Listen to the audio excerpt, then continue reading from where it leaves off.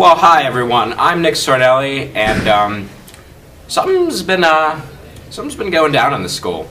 I don't know if you guys have noticed or anything, but me and my pal Donnie Cole have decided to take it upon ourselves to reach out to you guys about the hairy guy. You guys know who we're talking about. That hairy guy that's always alone and nobody likes him. You know what I mean? He's just hairy, and nobody likes him. Hi, I'm Donnie Cole. I also did this, uh, this documentary on him. I, at the first day of school, he was sitting by himself, uh, eating by himself at lunch. He, he really just baffled me. I really didn't know what was going on with him. So I just wanted to go dig deep, and so did Nick Sarnelli. So we really just decided to make this to make him reach out to the world and make him have a you know better time here at good old Penn Trafford.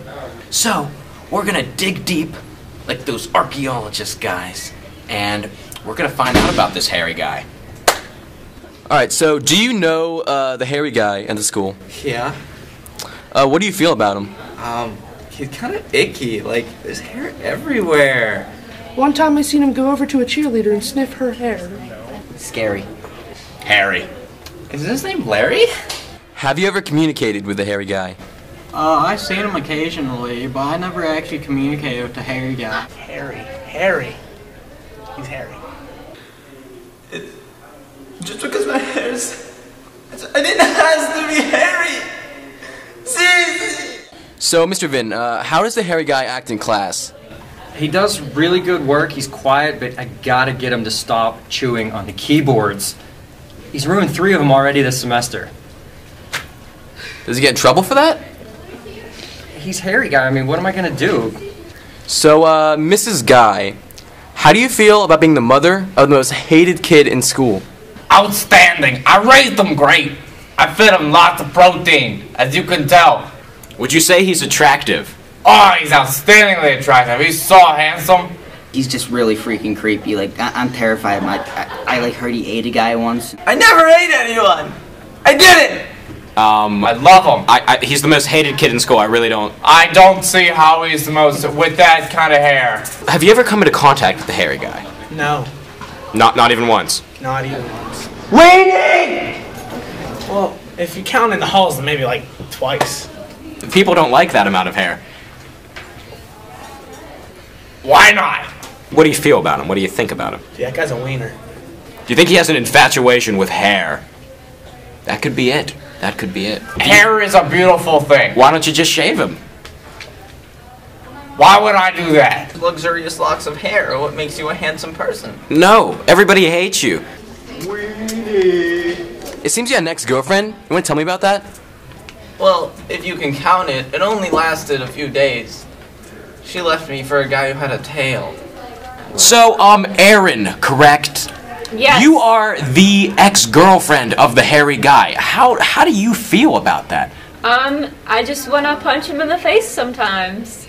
You know, it was a pretty bad breakup. Do you have any of the hairy guy's old brushes at your house? That's gross. Why would I keep brushes? I'm sensing a little bit of denial. I'm thinking that you might have some of his old brushes. Why? Uh, can you tell me what happened? Like whenever you first asked him to do these interviews for us? Uh, it was hard finding him. I found him like in a corner of uh, the stairwell. Uh, I tried talking to him. I said, "Hey, uh, hairy guy." He got kind of upset. He started crying and he started hugging me. I, I was kind of freaking out. So I just freaking booked it. But later again, Nick went on. and he got the interviews with him. Uh, he got to come here and have actually have interviews with him. So it it worked out in the end. Do you shampoo? Oh, twice a day. I even condition. So this is my locker. Of course, it's different. They decided they were gonna point me out in front of the whole school as not being normal, so that's cool.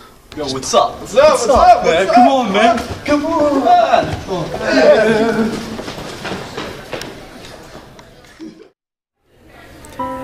May 23rd, 2012, Harry guy underwent some crazy surgery. The results came back and it found that his organs were clotted with massive piles of hair.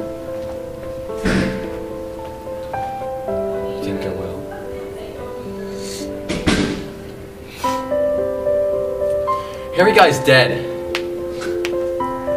No more. Many students didn't really care. A lot of students didn't even notice. But I remember Harry Guy. I remember Harry Guy. He will remain in our hearts. In our hairy, hairy hearts. To just, just to remind all of us. It's just a little bit of hair.